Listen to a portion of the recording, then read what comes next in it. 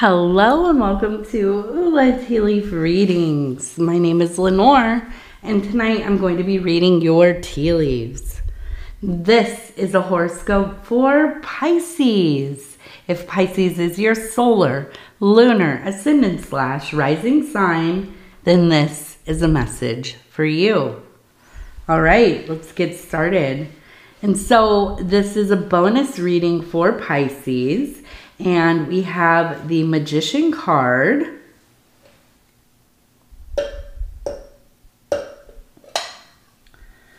Let's go ahead and see what these tea leaves have to say today. And if you have not subscribed yet, please think about doing that. You can hit the little bell. It'll let you know when the next readings are coming out. It is free to subscribe.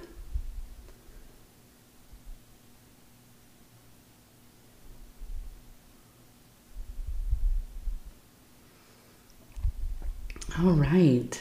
So we have a rabbit right in the middle of the cup.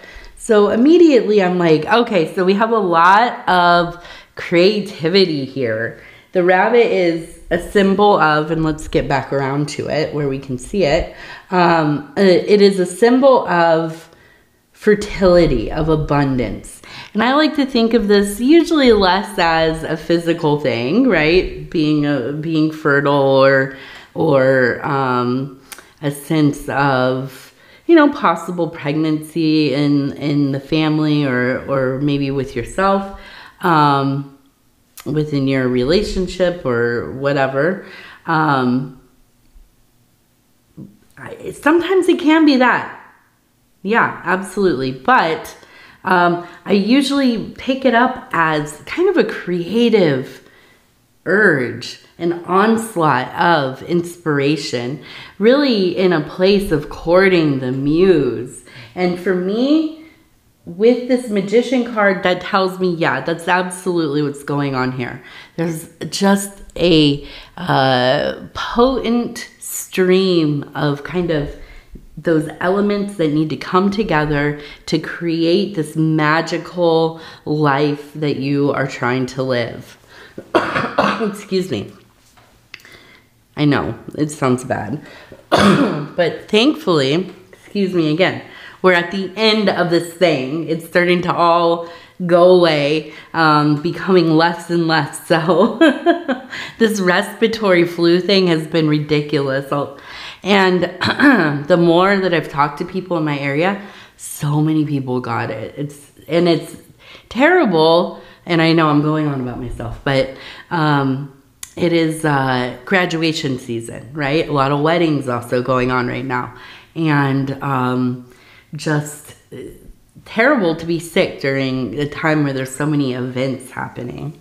So, anyways, let's get back to this. So, I feel like, yeah, uh, a magical life, a creative life. Okay. I think of Pisces as one of the great creative signs. Now, you maybe do it a little different. Okay. Um, I feel like you are somebody usually who is probably pretty private about your process. You kind of go off and do your thing. Um, you know, I think of it in terms of like being a, a person that makes music, okay? You're not necessarily super into being into an ensemble or a band, but really excited to be making music by yourself, right? And I um, and I think of like Cancer as being similar, right? These two signs kind of have the same that same energy. Both absolute magicians, the, some of the most magical people. Um, you can think of like I think of uh, you know um, like an alchemist locked away in their laboratory, you know, figuring out the the secrets of the chemicals, right? And so um, yeah, definitely, definitely. Uh, kind of, you know, in your own world. And we can see there's the rabbit right in the middle, just this kind of uh, surrounded by these different things going on, but definitely in your own space. Okay. Um, so let's take a look. What are these actually up here? So we have, it looks like a person here, and where's my stick? It's easier to kind of do it that way. Um, it reminds me of Saturn. Um, if you've ever seen the depiction of Saturn um, eating his son, um, I don't re- I don't remember who the son is because it's not Zeus who gets away, right? I don't know. I can't remember. Um, I'll have to look that up. Uh, but so there's this Saturn energy, okay? Um, the beginning, which is kind of funny because it is the beginning process in the alchemical processes. And um, and so when we see Saturn, this is a place where you are kind of refining aspects of your life. If you think of uh, yourself, your creativity, your, your authentic being, right, as soil, and it's called the prima materia, the original soil, the ultimate soil, the um, material in which we create all things. Okay, um, we start with that, but through that, it is kind of, you know, it's polluted with these different uh, base metals, heavy metals, and um, the process of driving the lead, the lead is Saturn, out of the out of the soils okay? So it is a refinement process. And if you think of this as like in spiritual alchemy or emotional mental health alchemy um, this is where we are not we're not um, exercising things out of us right? It's not like we're just completely taking some aspect of our um, identity, excuse me, our process, our coping mechanisms, excuse me, our defense mechanisms, whatever, um, and just abandoning them. That, I don't think that really works, right? We think we do it, it becomes part of the shadow. Um, excuse me, my goodness.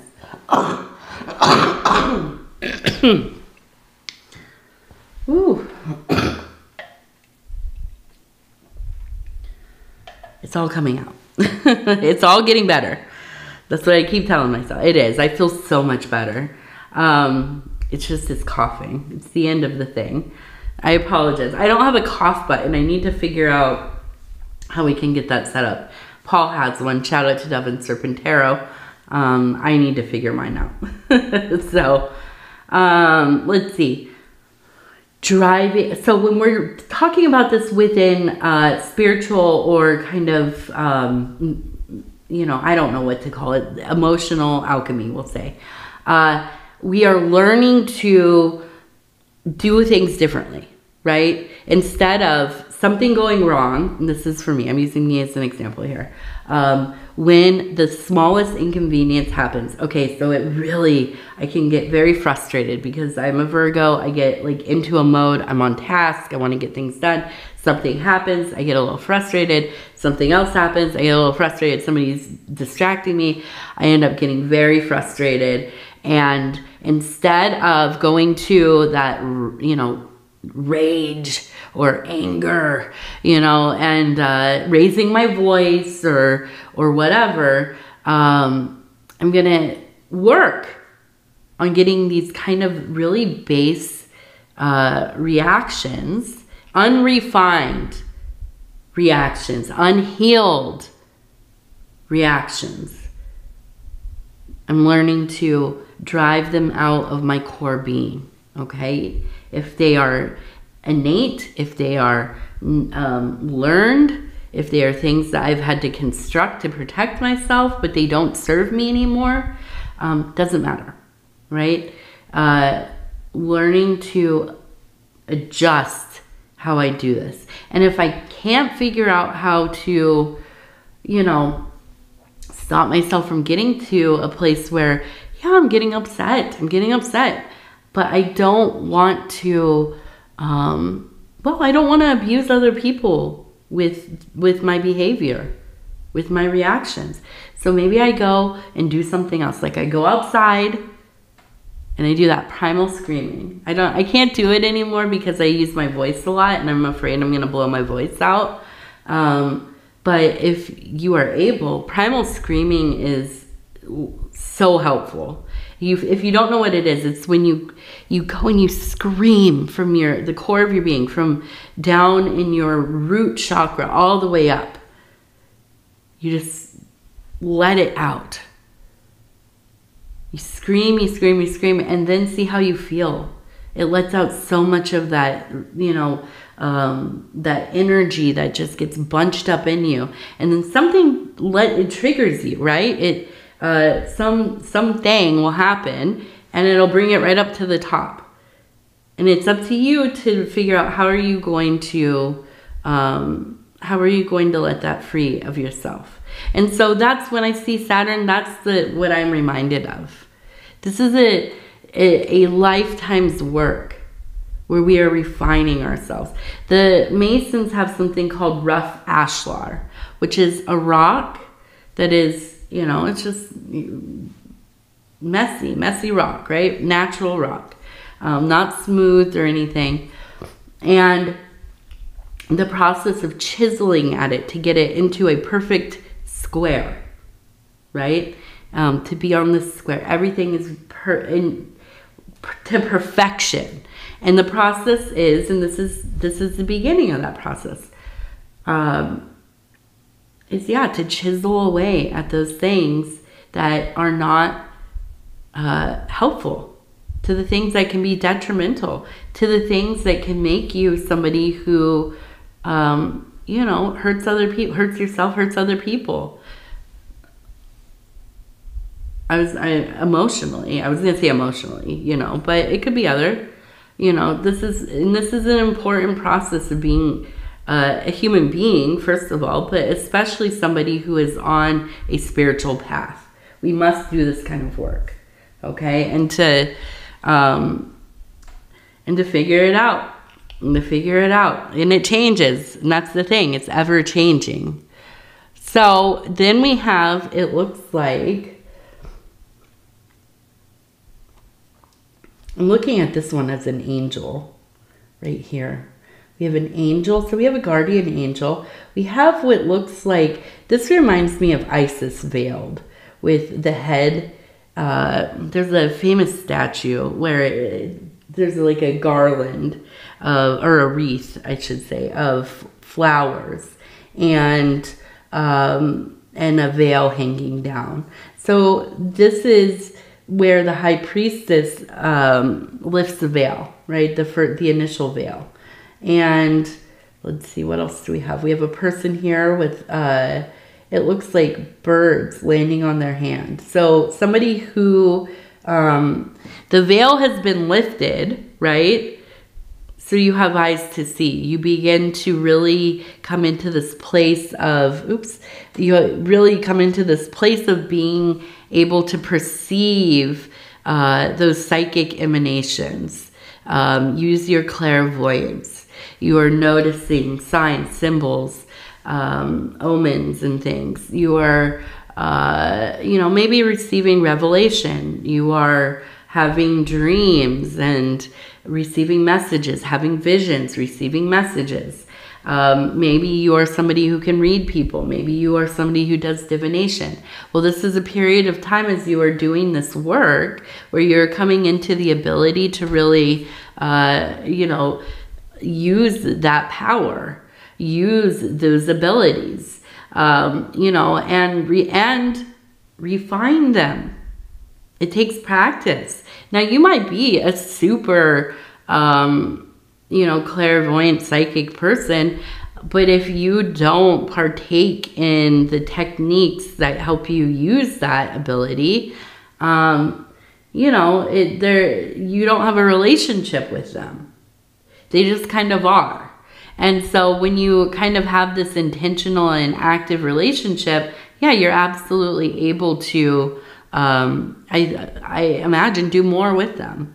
And so I feel this is a time where, yeah, you're coming into this place where I feel like you are really um, having some big psychic moments, things that are just coming through to you. You might not you might not even know what the heck it is, right? What is this? Why am I, um, well, I've ta- we've talked about this uh, on the readings and in the comments. I've talked to people about it. Um, you start smelling scents of people who have uh, passed, right? Who have transitioned, and all of a sudden you're like smelling your grandpa. You can smell his tobacco.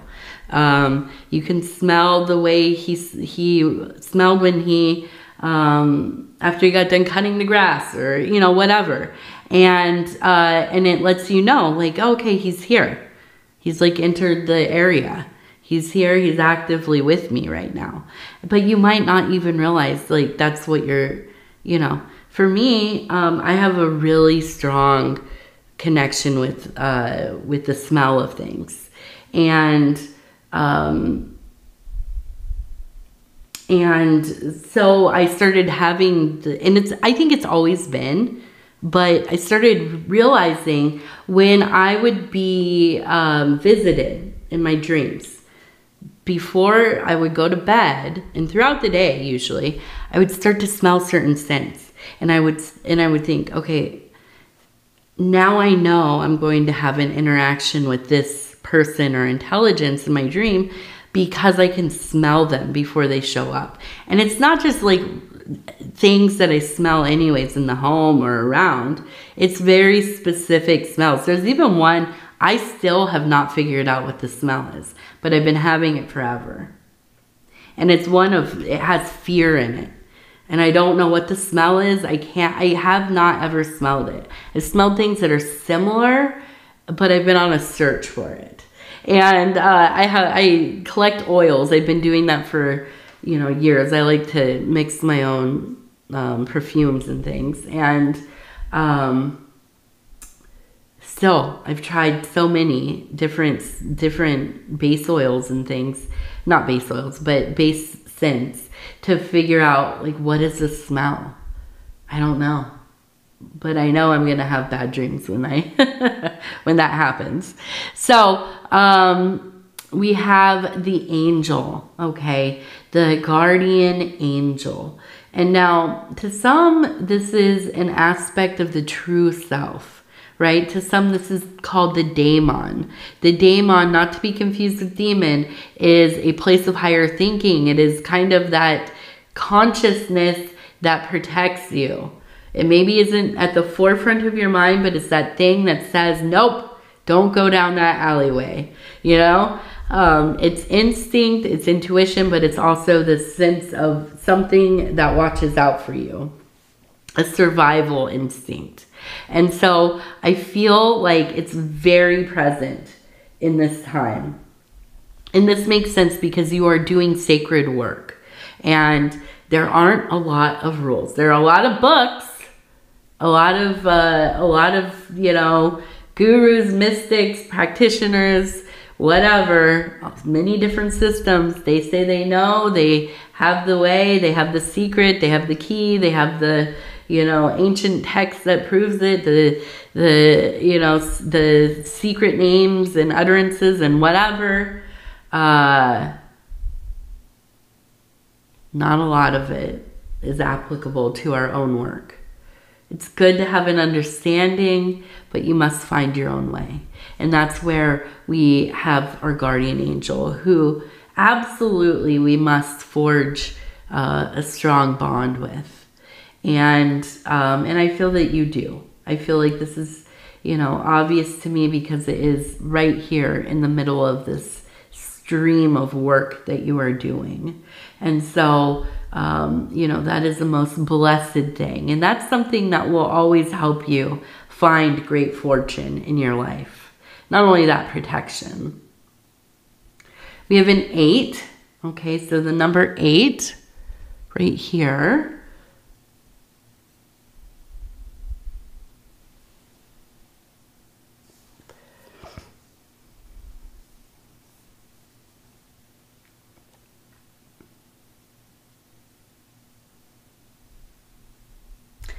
So this is kind of a weird one. This one's coming through on here, but in there's almost like a I'm Now we have a person here. It feels like an older person. Um, they have toys. And I feel like this is maybe from your childhood or when you're at least, you know, in your maybe early teens. And there's something about going to the mall. There's a mall, like I've, uh, like a mall, wanting to go to the mall, loving going to the mall. It feels like such a um, exciting privilege to go, right? And I feel like I don't know, like maybe you're going with your dad or grandfather. Um, and I just almost imagine maybe like buying a present for somebody. But I don't know what it is. There's just this feeling of um, being so excited and this being such a great day that you remember. I'm trying to think why is he showing this to me? I think it's like a connection. There's a sense of connection. Like, remember this connection we had. Almost like I'm trying to show you that I was always trying to be close to you. I want you to know, like, I've always wanted to be close with you. But I almost feel like maybe they didn't know how to be. Maybe it's this is like a father figure, grandfather figure. They just didn't really know how to be. Um, but they would do these special things with you sometimes. And I feel like it's beloved to you. Also, above them, there's the uh, the um, hummingbird. So I feel like they were really hard workers, and I feel like you get that from them. Um, it's you've learned to stay busy because they were always busy. They always were doing if they weren't working at their jobs, they had projects. They were constantly working on things. And I feel like you're the same way. You're very much that way. Okay, so we have a six up here you can see. And it looks like we have a child. I almost imagine a child with a dog. We have a dog here, but almost like a child. It reminds me of like Peter Pan, like flying. The sense of uh, never wanting to grow up. Um, and I do, I wonder, it's, it seems like there's a great fondness of childhood. Oh. So it looks like we have a six and then holding a seven. And I wonder actually now um, if this person passed when you were around six or seven. Maybe you were turning seven. I feel like there's always been this, like, I want to go, I want to be with them. I just feel like this is maybe like, it's like one of those people in your life. You just, um, there's just such a connection. You, there's just such a belovedness to this time in your mind. Um, and I feel, you know, with the dog there, I, I almost feel like this is an actual dog. Um, but there's such a loyalty. There's such a loyalty to the memory of this person. And I feel like this is really a confirmation that they're here. They're always with you, um, but actively with you quite often. I feel like this is a guiding light in your life. And